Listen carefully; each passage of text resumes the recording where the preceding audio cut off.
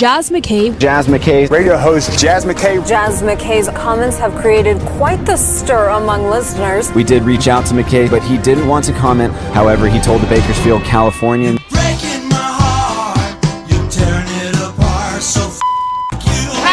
it up and piss somebody off. The Jaz McKay Show is on.